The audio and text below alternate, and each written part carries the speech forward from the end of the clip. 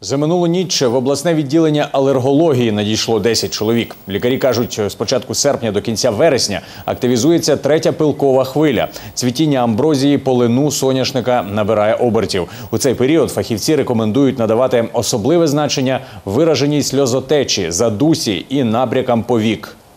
Это симптомы, которые наиболее часто встречаются в 80% случаев.